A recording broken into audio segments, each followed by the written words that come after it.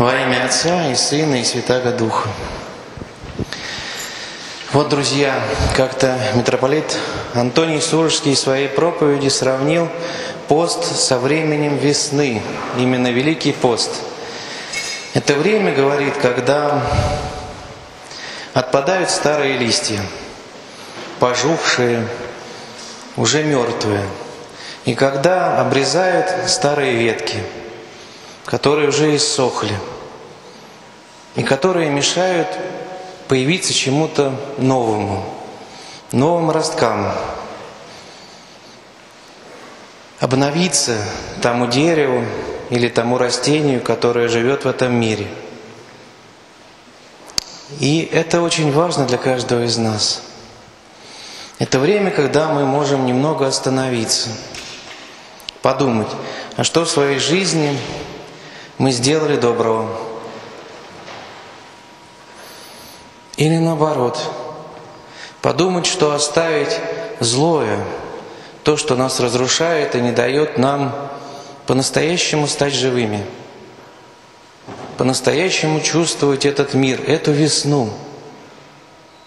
Да, представьте себе, даже в таком непростом нашем мире чувствовать весну очень важно – ведь мы живые люди.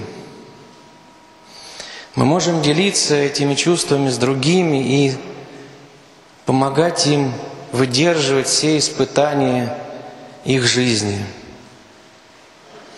И это так очень важно. И постовые недели об этом каждому из нас говорят. Вот сейчас будет торжество православия. Что для меня иконы? А потом Неделя о молчании. Что для меня молчание? И так важно прикасаться к опыту святых, прикасаться к тому, что нам говорит сам пост, эти темы поста. Умею ли я молчать? Умею ли я слушать? Или я все время говорю сам себе? И это уничтожает мою какую-то часть жизни, очень важную для меня самого. Еще пост – это время, когда мы уподобляемся тем первым людям, Адаму и Еве. Помните, они в том самом Эдемском саду не ели ничего животного. Там была атмосфера доверия. Там животные не боялись нас, и мы не боялись животных.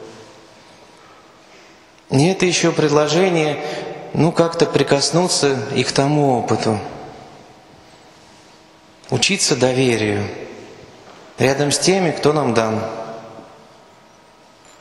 А других вот у нас не будет. Мы все здесь собраны. И приходим домой, и там мы собраны. Мы друг друга есть. А доверие восстановить очень сложно, трудно потому что придется видеть в себе какие-то изъяны и понимать, что надо дать возможность и другому быть таким, какой он есть.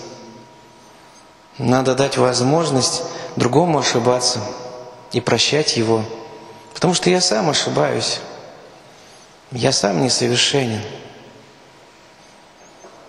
Но я люблю того, кто рядом со мной, несмотря ни на что.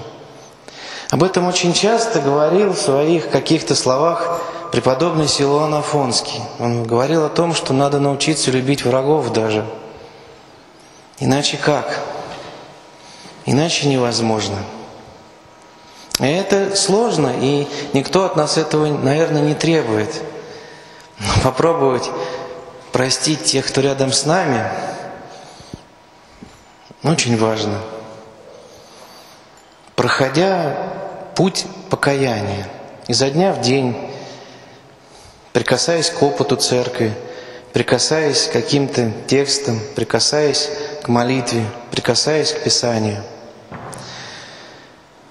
Давайте так настраиваться, потому что впереди Пасха, а ее надо встретить с открытым сердцем.